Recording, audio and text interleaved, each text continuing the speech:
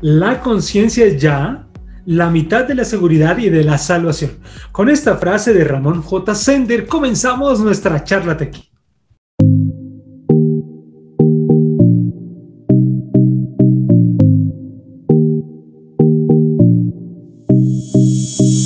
Bueno, y hoy vamos a hablar en nuestra charla Tequi de ciberseguridad y sobre todo de cómo lograr contraseñas seguras y de temas de identidad.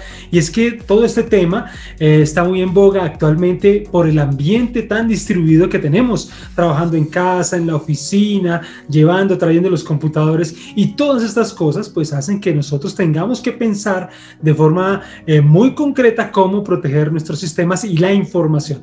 Y para hablar de este tema pues nos encontramos hoy con Ricardo Dos Santos, él es gerente de servicios de ISOF Colombia. Así que bienvenido, Ricardo. Hola, José Antonio, muchas gracias. Bueno, y vamos entonces a hablar ya de, de, nuestro tema y vamos a empezar dando un contexto en general de cuáles son esos aspectos esenciales que nos permiten mantener asegurados los sistemas y obviamente protegernos contra eventuales ataques. De acuerdo, José Antonio, sí. Eh, yo diría que, deberíamos comenzar, algunos de los aspectos que deberíamos considerar, o, digamos dos grandes aspectos. Uno de ellos, desde el punto de vista de las compañías, pues definitivamente tienen que invertir en tecnologías actuales que, que ayuden a, generar una ciberseguridad, em, digamos, moderna con, con, los desafíos que hoy día existen. Tú bien decías que, que hoy día eh, la gente trabajando en casa, en oficina, la movilidad es un tema importante las compañías, eh, digamos, por el tema de pandemia también han acelerado temas de transformación digital y todo eso suena muy bien, pero sin duda también implica riesgos. Entonces, definitivamente las compañías deben estar muy atentas en general o tener tecnologías de, de punta que te ayuden a mantener la, ciberseguridad. Eso por un lado. Y por otro lado, definitivamente la cultura. Eh, es sorprendente cómo en los últimos meses, años, ha ido creciendo el vector de ataque de ingeniería social. O sea, ahí donde te das cuenta que las personas seguimos siendo, eh, digamos, el, el, el factor más, más relevante en los temas de seguridad, porque finalmente es uno quien accede a un sistema, quien tiene una contraseña, quien tiene acceso a la información y por tanto eh, la persona pues es un vector de ataque. Entonces, el tema de cultura, por un lado, definitivamente hay que reforzar eh, el tema cultural de la seguridad y por otro lado las compañías, pues obviamente inversión en estos aspectos. Así es, y resulta interesante ver cómo las personas son el punto más vulnerable, obviamente, de toda esta cadena de seguridad pero que obviamente por ser seres humanos, que a veces nos compadecemos de ciertas cosas, pues hay una ingeniería social alrededor de, de los ciberdelincuentes que hace que las personas vayan a, a, los sistemas y obviamente traten de vulnerarlos eh, haciendo que las personas ejecuten acciones que, que, dañen el sistema. Y en ese sentido, Ricardo, hablemos de las contraseñas, ¿no? digamos, a mí me encanta, yo hablaba recientemente que me encanta muchísimo que la, la, perdón, la biometría nos ayuda muchísimo a poder eh, digamos, acceder a los sistemas sin necesidad de aprendernos tantos números y tantos símbolos. Pero en este sentido todavía existen las contraseñas y los usuarios obviamente tienen problemas. ¿Y cuáles podrían ser esos problemas que más eh, deberíamos evitar los usuarios en cuanto a las contraseñas, Ricardo?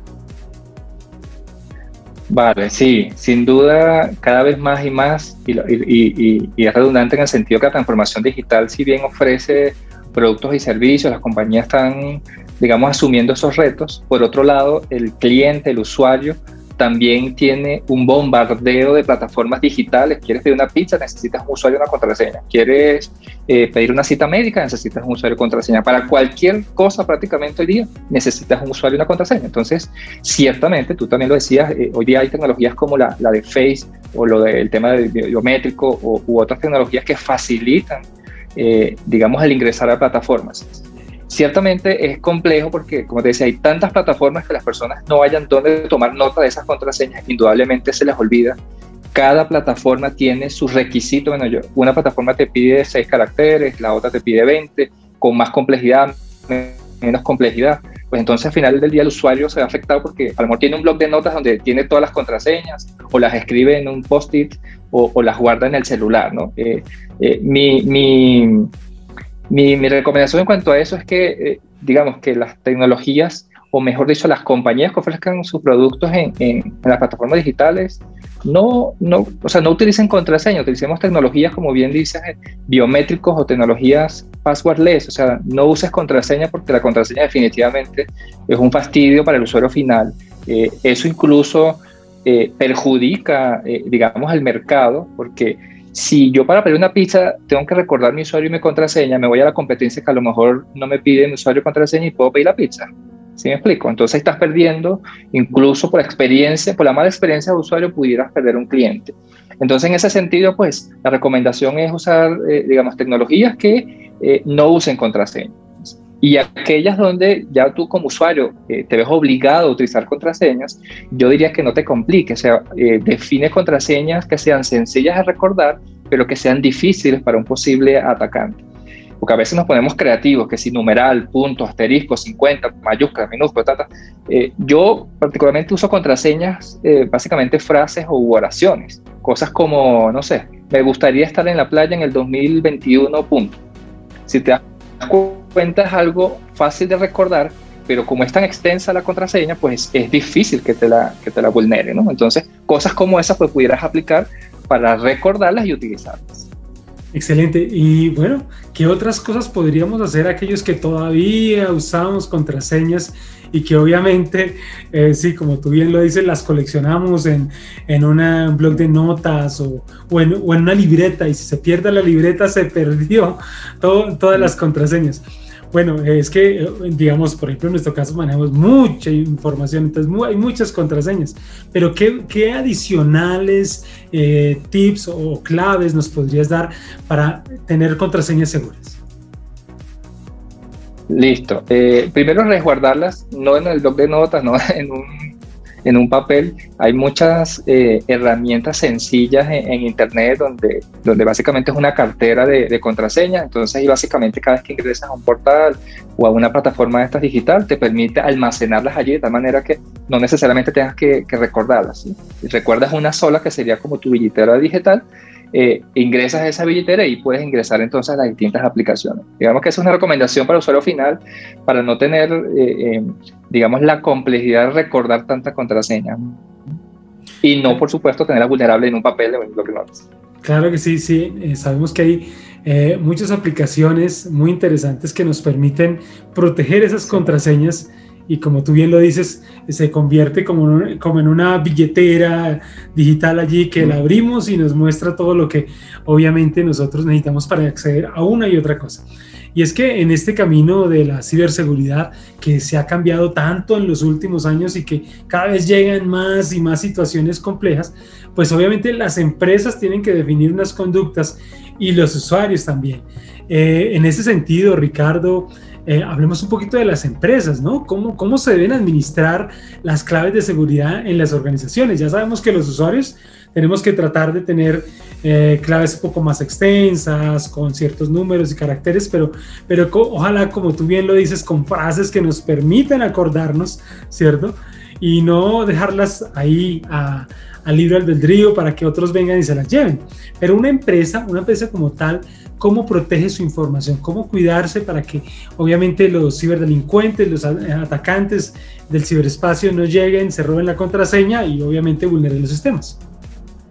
De acuerdo, sí, eh, ciertamente, y cada vez las compañías precisamente adoptando, eh, digamos, estas nuevas tecnologías, servicios en nube, eh, servicios híbridos, etcétera, y cada vez más y más elementos para, ofrecer sus productos y servicios, pues se convierte en una complejidad administrar tantos, tantos elementos, tantos componentes. Cada una de esas plataformas tiene un superusuario o muchos usuarios que lo administran. Y eso eh, definitivamente también implica un riesgo. Porque imagínate el caso del que toma nota en un blog de notas como, como usuario final, la contraseña del portal 1, la contraseña del portal 2. Imagínate que los servidores del core de negocio estén anotados de los superusuarios de esos servidores o de esas plataformas estén anotados también en un blog de notas, donde el administrador de, de TI de esa compañía lo tiene allí y de paso tiene que compartirlo con, con, un compañero porque a lo mejor son dos o tres o veinte personas que necesitan administrar esa plataforma y está ese, ese blog de notas, digamos, por ahí eh, andando. Generalmente es un archivo Excel un blog de notas digital donde está esa contraseña. Eso definitivamente es un riesgo sumamente elevado. Eh, por otro otro lado, hay un riesgo que, se suma a todo esto y es que las plataformas de nube son muy ventajosas en el, sentido de que, bueno, tienes toda tu infraestructura ya, tienes alta disponibilidad, bueno, todos los beneficios que eso implica, pero que también, insisto, también eh, por otro lado genera un riesgo porque el administrador que, que, em, que gestiona, digamos, los, la infraestructura de nube de las compañías, al final es una consola web que accede desde cualquier lado, desde casa, donde pones un usuario y una contraseña otra vez. Entonces imagínate que de una compañía multinacional yo tenga acceso a, la infraestructura de nube y que por error o de manera intencional pueda afectar de manera muy importante la infraestructura de esa compañía. Entonces, si te das cuenta otra vez, el usuario y la contraseña de esa plataforma se convierte en un tema álgido. Eh, eh, ¿Qué recomendamos desde el punto de vista de las compañías? Pues que utilicen eh, plataformas que existen en el mercado, nosotros ofrecemos algunas de ellas, donde eh, esta plataforma básicamente lo que hace es custodiar todas esas contraseñas de todas esas plataformas, se almacena en una especie de bóveda digital y quien la va a utilizar no tiene ni siquiera por qué verla y conocerla, sino simplemente acceder a un portal donde dice yo quiero acceder a este componente o a esta consola o a esta nube o lo que sea, le das clic y él ingresa automáticamente, digamos que inyecta las credenciales, por decirlo de alguna manera, de tal forma que la persona, el administrador de tecnología, pueda hacer su gestión, pero nunca va a conocer la contraseña. Entonces, si te das cuenta, ahí estás mitigando en gran medida ese riesgo que, estamos conversando. ¿no? Y por otro lado, eh, puedes hacer su trabajo, no necesitas la contraseña, no tienes por qué compartirla y mientras estás haciendo tu trabajo, todo lo que está, digamos, haciendo clics, ejecutando comandos, etcétera, está siendo grabado. De tal forma que sirve también como evidencia digital si eventualmente hay una incidencia de seguridad, pues identificar, ah, bueno, pasa que José Antonio a las 3 de la mañana se conectó a un servidor y hizo algo. Eh, eso por un lado. Y por otro lado, estas plataformas también tienen capacidades analíticas que analizan el comportamiento de, cómo funcionan esas contraseñas, quiénes las usan, desde dónde las usan, de tal forma que te alerten ante un eventual, un eventual, digamos, comportamiento atípico o anormal. No sé, supongamos que José Antonio y Ricardo son los administradores de esta compañía y siempre estamos aquí en Colombia administrando nuestra plataforma. Y eventualmente viene una conexión de China. Entonces, oye, es raro que venga una conexión de China si estamos trabajando en Colombia. Entonces allí pues estos sistemas te alertan o te permiten tomar alguna acción para que eh, mitigues esa, posible ataque, si acaso es ataque, y eh, controlarlo, digamos. Entonces de esta manera eh, las compañías, como hablábamos, pueden custodiar todas esas contraseñas en un mecanismo seguro, la experiencia de usuario, digamos, es buena y mitigas los riesgos. Muy bien, eh, hoy estamos en charla hasta aquí de IT en línea con Ricardo Dos Santos, gerente de servicios de ISOP Colombia. Y bueno, Ricardo, eh, viene el momento, yo le llamo el minuto de oro, ¿no? Donde, donde puedes expresarnos, digamos, todo ese conocimiento que tienes para que nos quede ahí de, en nuestra mente y obviamente todos nuestros amigos que nos están viendo y empresarios pues tengan en cuenta que la ciberseguridad o la seguridad informática es muy importante pues obviamente para salvaguardar la información y también para estar desarrollando un trabajo cada vez más seguro en las compañías, ahora en nuestros ambientes donde estamos, como les decía al comienzo, en, casa y en la oficina y de manera móvil. Así que Ricardo, danos esas sugerencias para los equipos de seguridad informática de las empresas en cuanto a protección de identidad y obviamente a la protección de las contraseñas de los sistemas.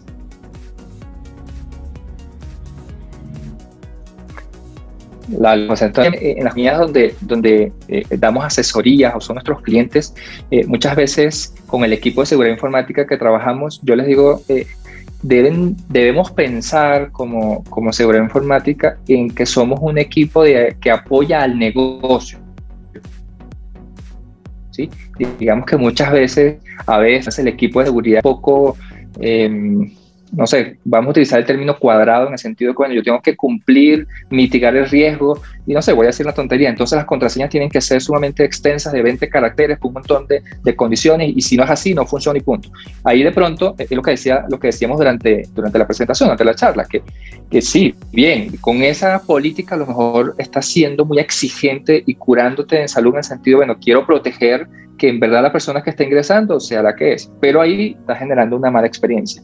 Entonces, y no estás apoyando al negocio, porque estás, lo que estás generando que los clientes eventualmente, o tu usuario de, como empleado, pues simplemente desista de ingresar a ese sistema. Entonces, por un lado, tener la mentalidad que si somos seguridad, debemos mitigar los riesgos, debemos establecer buenas políticas, pero siempre pensando en el usuario final. Entonces, la, recomendación ahí siempre utilizar tecnologías, como lo hablábamos también durante la entrevista, eh, passwordless. El hecho que no tengas un password no quiere decir que no sea seguro, muy por el contrario. Hay un montón montón de mecanismos, de tecnologías que te permiten, eh, sin tener un usuario y una contraseña, eh, asegurarte que es la persona que dice ser y por otro lado tener, eh, hoy día existen muchas tecnologías de inteligencia artificial y analítica que analizan el comportamiento del acceso, de, de, la protección de las identidades, analizan su comportamiento y en función de eso pues puedes tomar acciones. De tal manera de asegurarte de que en principio sea la persona que dice ser y que ingresa a tus sistemas de información sin ningún riesgo. ¿no? Gracias Ricardo por habernos acompañado en este momento tan especial de Charlas Tequi. Recuerden amigos, estamos en itenlinea.com todos los días con mucha información fresquita, interesante de empresas, de usuario final, obviamente enseñando y mostrando cómo la tecnología puede avanzar de forma interesante, no solo para que nosotros podamos crecer y desarrollar un buen trabajo, sino también para poder tener una vida más tranquila y sobre todo para ayudar a otros. Así que eh, no lo olviden, quédense con nosotros. Y gracias Ricardo por haber estado aquí en esta charla Tech de hoy.